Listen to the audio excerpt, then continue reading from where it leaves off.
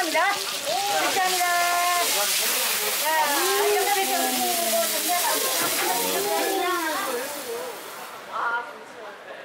야, 여기는 충무로 인현시장과 맞닿아 있는 인쇄 골목이자 먹자 골목입니다. 퇴근 시간이 되자 사람들이 슬슬 모이기 시작했는데요. 이곳에 노포 감성 지려버리는 충무 곱창집이 있었습니다. 30년 세월의 손맛. 퇴근 후 한 잔이 딱 어울렸던 곳이었습니다. 테이블 3개에 이모님 혼자 운영했던 곳.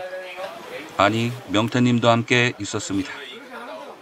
가격대는 평타 수준이고 차돌박이를 제외한 모든 메뉴가 한우 유구를 쓰고 있었습니다. 재료는 매일매일 들어온답니다.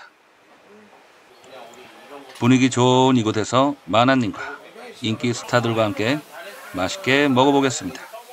옛날하고 자 음. 자 드시오 짠 음. 반찬은 김치와 생간 천엽이 나오는데 휴일이 껴서 생간은 없었습니다. 특별히 국물도 따로 없었고요. 천엽? 여허, 천엽. 자, 찍고. 요것만 있어도 소주 한 병은 충분합니다. 자, 짠.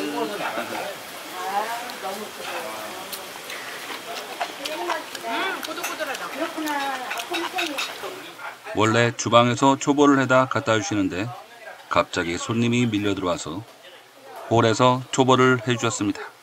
그래서 이렇게 찍을 수 있었고요.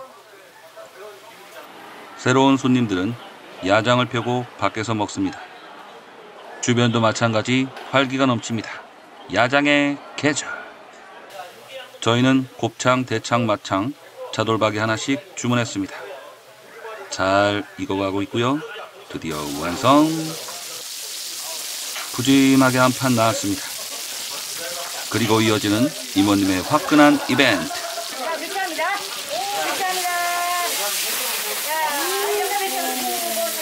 눈썹 탈 뻔했습니다. 이어서 차돌. 아, 좀 늦어서 감사합니다. 혼자 하시느라 시간이 걸리는 경우가 다반사인데 그럴 때면 이렇게 서비스 팍팍 내주십니다. 부디 앞으로도 계속 늦어주세요. 전혀 불편한 감 없습니다.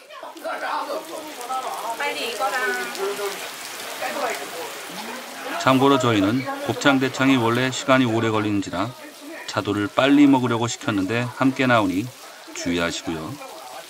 막 쓸까 보라?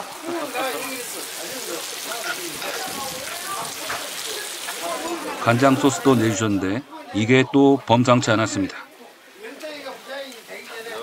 드디어 불에 스치면 먹어도 되는 차돌 차례. 차돌을 먼저 소스에 청양고추 하나 올려서 쏙.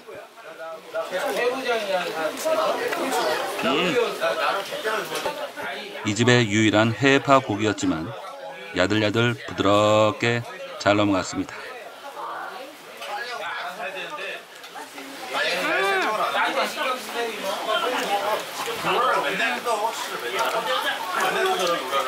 어 맵다 이거. 다음 타자 곱창.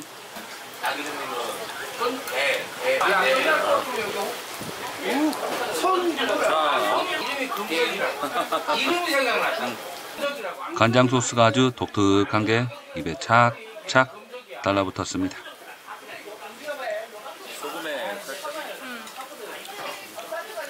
반찬 가지 수는 적어도 기본 소스 이런 것들이 확실했습니다. 3번 타자는 대차. 오메나 이거 맛있어 맛있어. 대장 이거 혈관 막힌다고 걱정하시는 분도 계신데 맨날 먹는 대창 기름 아니니 좀 이해해 주세요. 맛은 암튼 연하고 고소했습니다.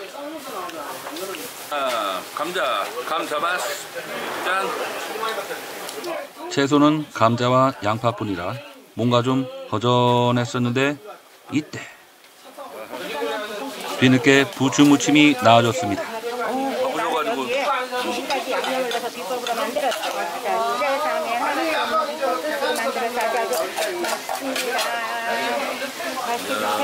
맛있 야 막창 이모님이 양념에 대한 자부심이 아주 대단하셨는데요. 과연 그 맛은? 부추가 살짝 덜 익었을 때 음. 소스가 다르네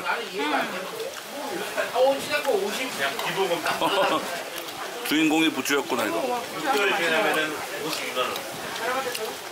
정말 이런 부추 양념 처음 맛봤습니다. 역시나 예외 없이 쓱 까먹기.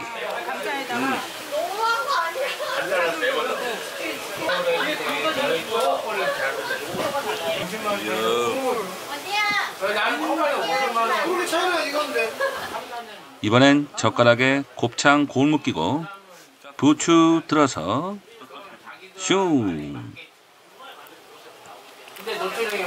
음. 짠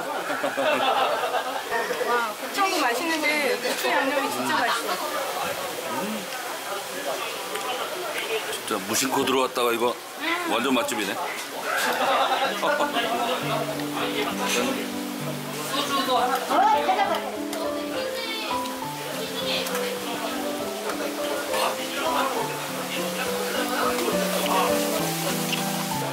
부추 양념은 특허를 내도 무방할 듯합니다. 맛있습니다. 이어서 볶음밥을 먹으려 했으나 사장님께서 너무 바쁘신 관계로 한참을 멍하니 기다려야 한답니다. 다음을 기약하며 볶음밥은 포기. 그래서 그냥 술만 먹고 가지요. 진짜 르. 좋다 아, 곱창도 곱창인데 완전 부추가 완전 예술이네. 아무리 강조해도 지나치지 않았던 부추 무침. 이것저것 많이 내주는 집도 좋습니다. 하지만 곱창 확실하고 소스 확실하고 부추 무침 끝내주는 이런 것이 더 좋습니다. 어디까지나 개인적인 취향이라는 점 잊지 마시고요. 암튼 제 인생의 충무로 곱창집은 이 집을 알기 전과 후로 나눌 듯합니다. 이런저런 핸디캡이 다 용서되는 충무로의 충무 곱창이었습니다. 연휴 무사히 건강히 잘 보내시고요. 오늘도 시청해줘서 감사합니다.